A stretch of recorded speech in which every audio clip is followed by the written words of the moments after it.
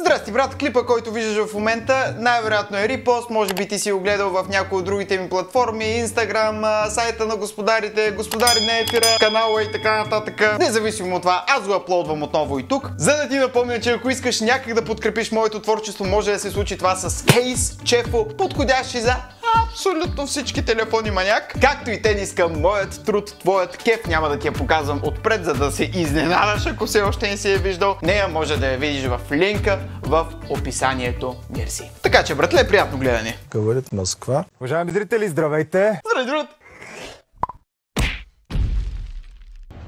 един бус туалет на хартия. Памперсите не виждам къде са. Ма поръчайте им памперси и памуци.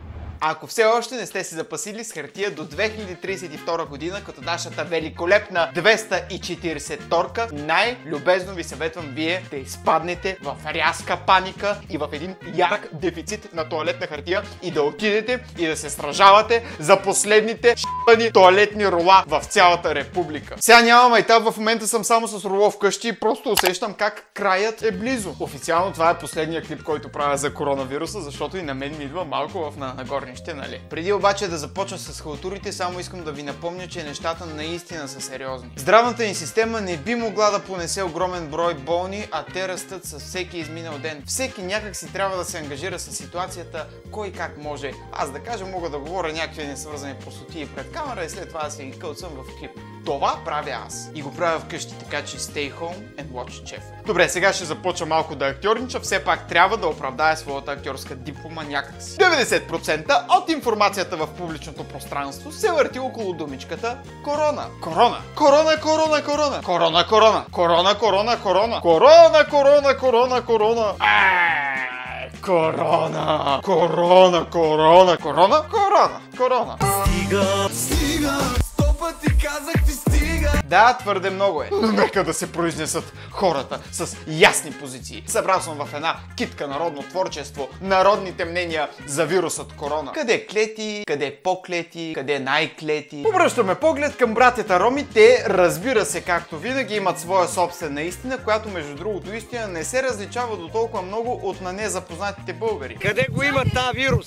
Ето е вируста, от това всичко минало. Една чашка ракия, яш чесен лук и е готово. А, какво е това? чесън, лук, ракия и бира. Човек сигурно ще си помисли, че ти просто си огаждаш на червата, а не че се пазиш от някой конкретен вирус. Сигурно съвпадението е абсолютно случайно. Да, притеснява ми се, да. Някакви допълнителни мерки за дезинфекция има ли в домовете ви? Не. Хам се притесняваме, хам няма мерки.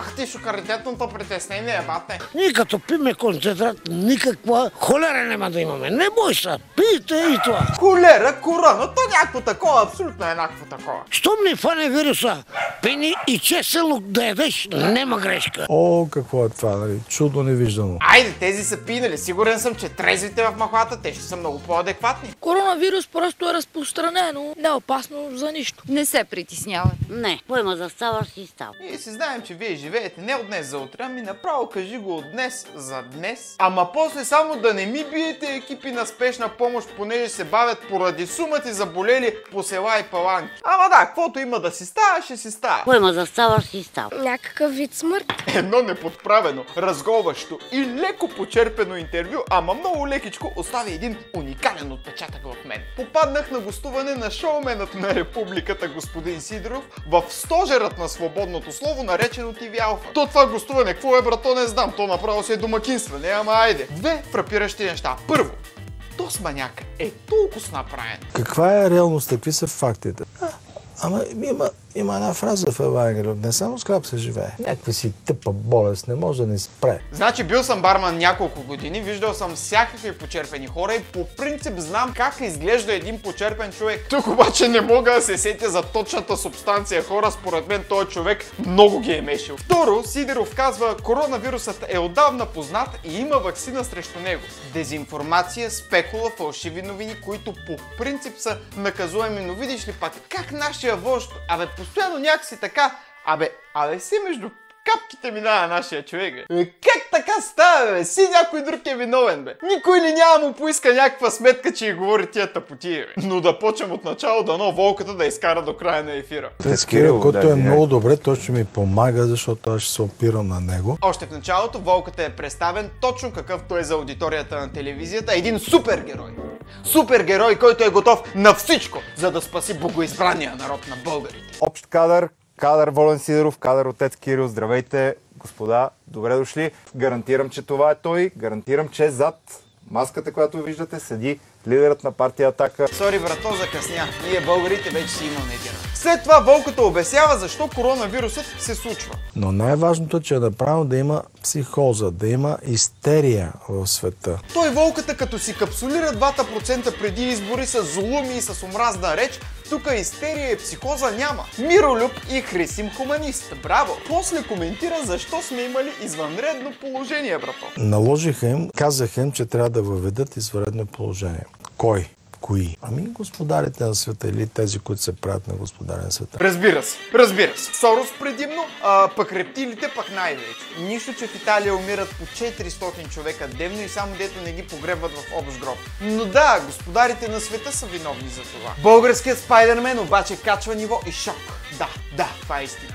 Това е истина. Той може да ни спаси. Между другото, аз мога да им помогна, защото някъде от 5 или 6 години разработвам едно лекарство, което може да помогне. Включително за такъв вирус. Това е новина, господин Сидоров. Вие с много минорен тон казвате нещо, Аз- което е новина. аз не искам- Вие твърдите, че лекарство срещу коронавирус има. ни- Има, да, има. Ехо, МВР, спекула, в ефир.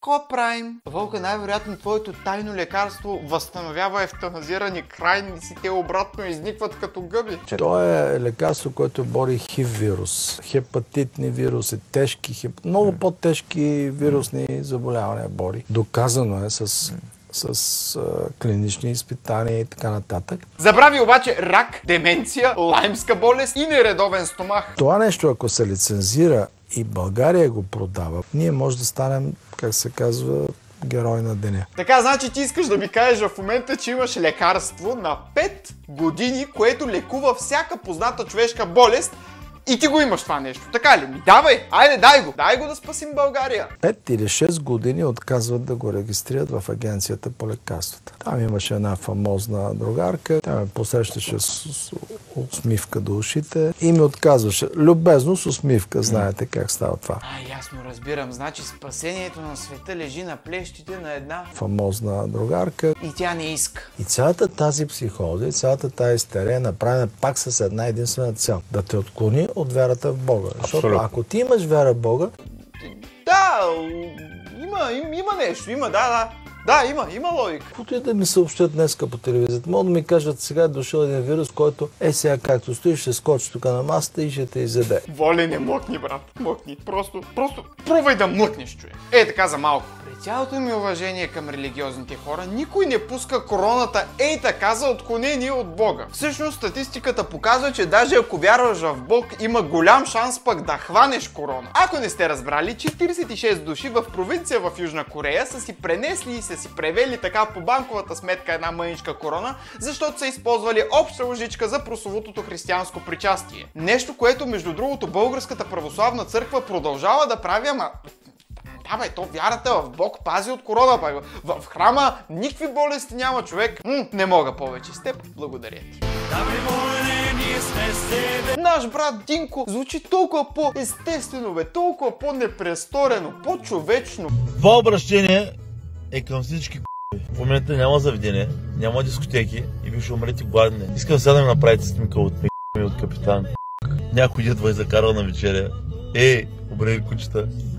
Сега ще видите големия Тук дори подкрепям Динко всъщност, без да съм включил епитетите в клипа, от които малко така се разграничавам. Сега ще видите големия Мозък, Сега ще видите големия захарен памук, Сега ще видите големия трикрилен гардероб. Сега ще видите големия А, ясно, да. Какво ще правите, не знам, трябва да се бесите. И да стои- стоите на топло и да се чатите в телефон, тя нищо не може да направите, защото няма да имате клиенти, защото клиентът ще се притеснява с който се преди и да не падне някой коронавирус. Абсолютно присъщи в тази ситуация за Димко биха били и музикални поздрави, отправени така към артистките, изповядващи най-древното изкуство. Корона, The Rhythm of the Night,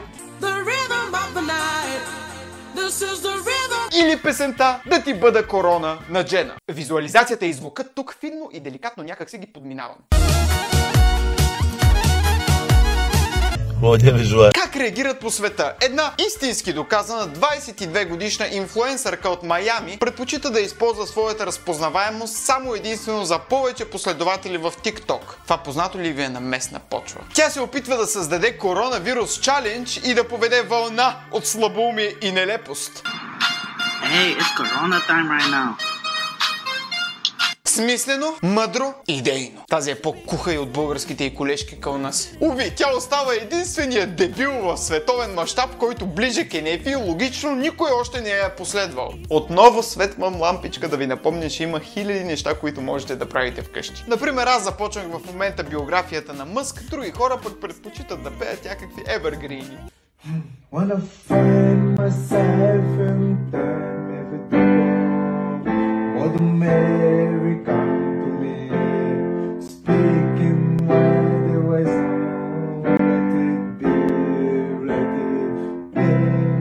Независимо, че вият вълци и съседи се бесят, Абел Анисе дава един прекрасен пример за това как ти може да направиш нещо винаги очевидно за първи път.